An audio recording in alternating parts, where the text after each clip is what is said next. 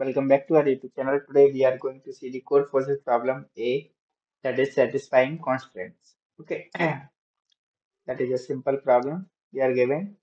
So Alex is solving this problem. He had n constraints on what the integer k can be. Okay, so there are three types of constraints. K k must be greater than or equal to some integer x. Okay, k must be less than or equal to some integer x. K must be not equal to some integer x. So there are three types of constraints, right? So help Alex to find the number of integers k that satisfy all n constraints.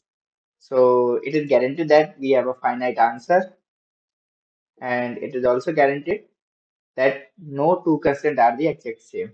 So that is the condition. So we are given. So so let's discuss the input.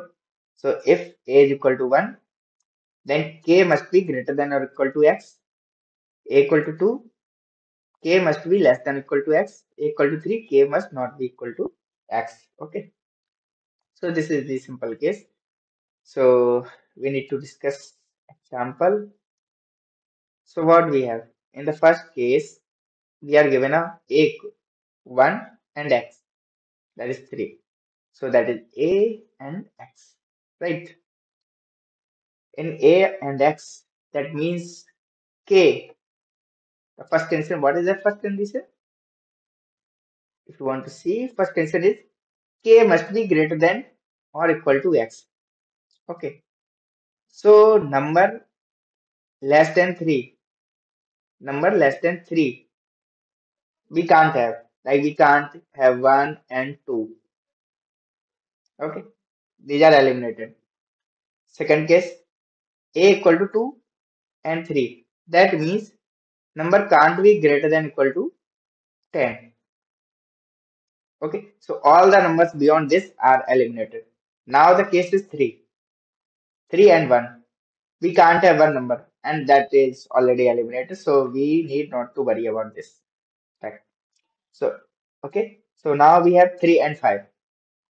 That means 3 is the condition and 5. Like in this condition, what are the possible numbers?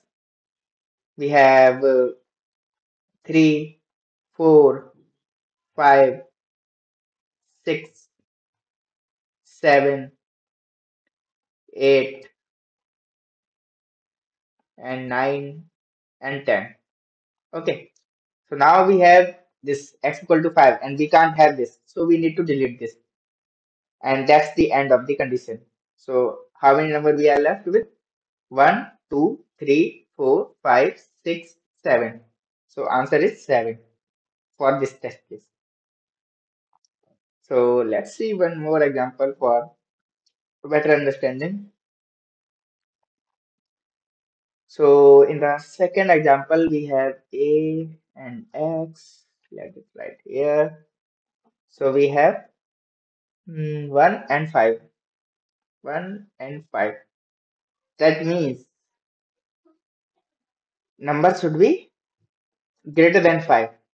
So that means less than 5 are eliminated. These are not possible. Right? Second case, greater than 4. That means greater than 4 are eliminated. So do you have a possibility that any number that is smaller than 5, smaller than 4, okay, and greater than, and it should not be like, we can't include that number. That is the case.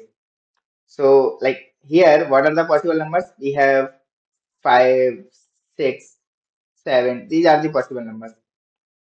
According to this condition, what are the possible numbers? 1, 2, 3, 4. These are the possible numbers. Okay. So do you have an intersection between these? No, you can't have. There is no intersection between the numbers. That means you don't have any numbers. That is why answer is 0. Are you getting? That is quite simple. So what will your logic to solve this question? Okay. So your concept should be you need to define two numbers. One that is small, one that is large. Okay. Initially, what this small will be? Small will be the minimum number possible. Let it be minimum number is minus infinity. Let it be. And the large number is possible plus infinity. Okay. So now we have a and x. What you need to do? And you also need one vector. I will explain why we need this vector. Okay. A and x. We have two numbers. Okay. So if this a is 1, that means the numbers allowed are should be greater than this case. The first case greater than or equal to x. Right? So we can have the this maximum number. So what we need to do? We need to update this as equal to max of this s comma x. This is the case. And if suppose this a is equal to equal to 2, then what you need to do? You need to update L equal to minimum of L comma X. Why we are doing that? We are doing this to like shrink our target size, shrink the size. Okay. So we need to do this. And if if A is equal to equal to 3, if that is the case, what you need to do? You need to append append the element append the element in this vector. So b dot push back x in the array. Now, now after this, like there is possibility. What is that possibility? If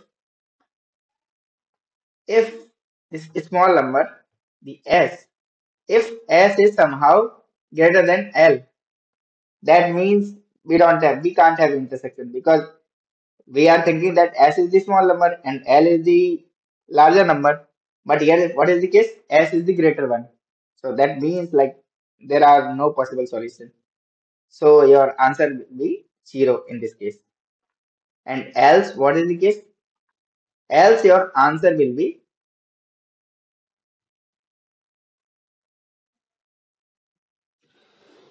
else your answer will be L minus S plus 1. Okay, but there is a catch. What is that catch? You have a number in B. That should not be included. That is your answer. This answer.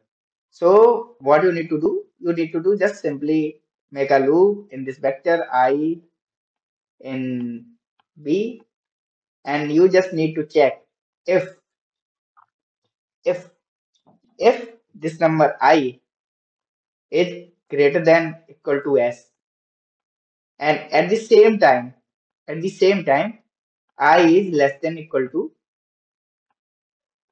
l. If that is happening at the same time what we need to do? We will do answer minus minus. Why? Because at the third case we can't consider that number. That number should not be equal to that particular x. So we need to delete that. So this answer will be your final output. Hope you understood the solution. Like this video. Subscribe the channel and keep coding